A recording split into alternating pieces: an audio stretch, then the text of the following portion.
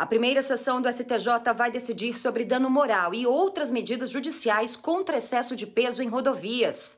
A primeira sessão do Superior Tribunal de Justiça decidiu afetar dois recursos especiais de relatoria da ministra Suzete Magalhães para julgamento sob o rito dos repetitivos. A questão submetida a julgamento está cadastrada como tema 1104 na base de dados do STJ e possui a seguinte ementa definir a possibilidade de imposição de tutela inibitória, bem como de responsabilização civil por danos materiais e morais coletivos causados pelo tráfico com excesso de peso em rodovias. Ao propor a afetação, a relatora lembrou que um levantamento feito pela Comissão Gestora de Precedentes e de Ações Coletivas do STJ, presidida pelo ministro Paulo de Tarso Sanseverino, identificou aproximadamente 30 acórdãos com essa controvérsia, além de 201 decisões monocráticas proferidas pelos ministros componentes da primeira e da segunda turmas. Até a definição da tese, o colegiado determinou a suspensão do trâmite de todos os processos pendentes,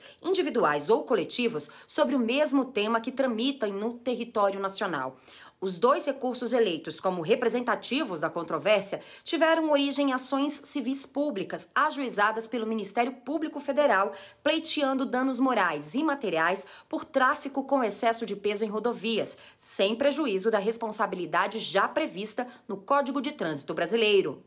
Enquanto os tribunais regionais federais consideraram impossível a responsabilização judicial pretendida pelo MPF por já haver normas de trânsito destinadas a prevenir e a coibir o desrespeito aos limites de peso estipulados para o tráfego nas rodovias,